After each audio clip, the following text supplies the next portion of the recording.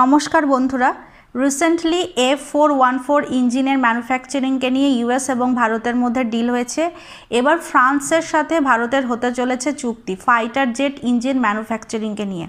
Advanced multirole combat এয়ারক্রাফটের জন্য যে engine ব্যবহার করা হবে, ভারতকে তা ফ্রান্স অফার করছে। দুই দেশ মিলে এই ইঞ্জিন ডেভেলপ করবে আর এর জন্য ভারতের টেকনোলজি ট্রান্সফারও করা হবে। তবে ইউএস এবং ভারতের মধ্যে যে ডিল হয়েছে এফ ফোর ওয়ান ফোর ইঞ্জিনকে নিয়ে, তার থেকে ইঞ্জিন একটু আলাদা। কোন দিক থেকে আলাদা তাও বলব, আগে হেডলাইনগুলো দেখে নিই।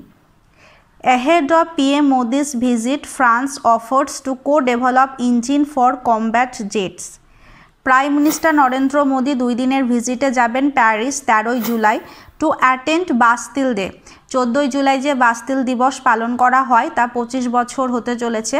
তো সেই বাস্তিল দিবস অ্যাটেন্ড করতে তিনি যাবেন। এই বাস্তিল দিবসে ইন্ডিয়ান এয়ারফোর্সে রাফায়েল ফাইটারও পার্টিসিপেট করবে।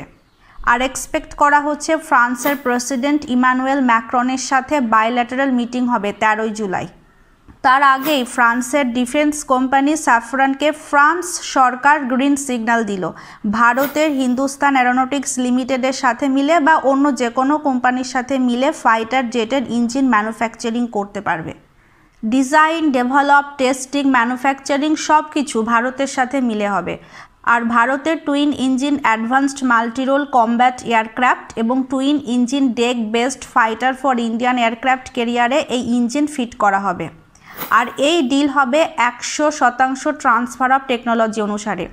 এবং এটি US international trade in arms regulation থেকেও ফ্রি হবে।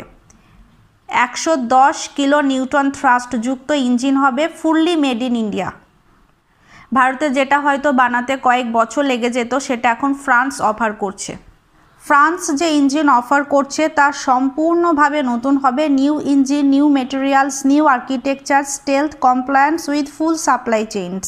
Stealth compliance মানে র্যাডার যাকে সহজে ডিটেক্ট করতে পারবে না। এবং ancillary manufacturing based in India মানে সব নতুন হবে। যেখানে ভারত এবং ইউএসের মধ্যে যে ডিল হয়েছে GE F four one four ইঞ্জিনকে নিয়ে, তা সম্পূর্ণ নতুন নয়। অলরেডি এটা ডেভেলপড ম্যানুফ্যাকচারিংও চলছে, অনেক ফাইটার জেটে তা ইউজও করা হচ্ছে। কিন্তু ফ্রান্স যে অফার করছে তা সম্পূর্ণ নতুন, অর্থাৎ স্যাফরান কোম্পানির কাছে বর্তমানে যতগুলো ইঞ্জিন আছে তা কোনোটি ভারতে ম্যানুফ্যাকচারিং করা হবে না। ভারতের এয়ারক্রাফটের জন্য কমপ্লিটলি নিউ ইঞ্জিন ম্যানুফ্যাকচারিং হবে, নতুনভাবে ডেভেলপড করা হবে।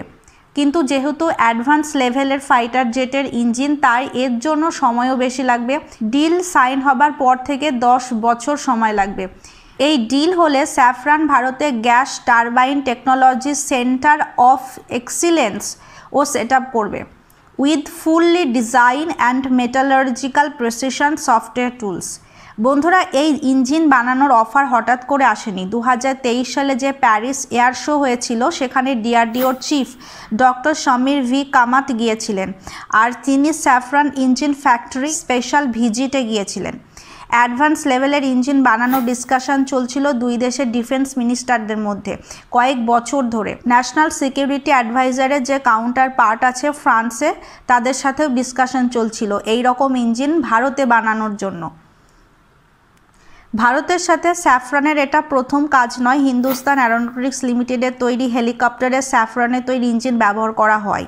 রাফায়েলের যে এম এইট এইট ইঞ্জিন ব্যবহার করা হয়, তা সেভেন্টি ফাইভ থেকে এইটটি কিলো নিউটন থ্রাস্টযুক্ত স্যাফরান বর্তমানে ফ্রান্সের নেক্সট জেনারেশন ফাইটার জেটসের জন্য একশো পঁচিশ কিলো নিউটন থ্রাস্টযুক্ত ইঞ্জিন ডেভেলপ করার চেষ্টা করছে। আর ভারতকে যে অফার করা হচ্ছে তা একশো দশ কিলো নিউটন থ্রাস্টযুক্ত ইঞ্জিন। শেষ পর্যন্ত ভারতের অ্যাডভান্সড মাল্টিরোল কমব্যাট এয়ারক্রাফটের জন্য ইঞ্জিন এবার ভারতেই বানানো হচ্ছে। আজকে এই পর্যন্ত দেখা হচ্ছে পরের সেশনে নতুন কোনো টপিক নিয়ে। সবাই ভালো থাকবেন, সুস্থ থাকবেন। Thank you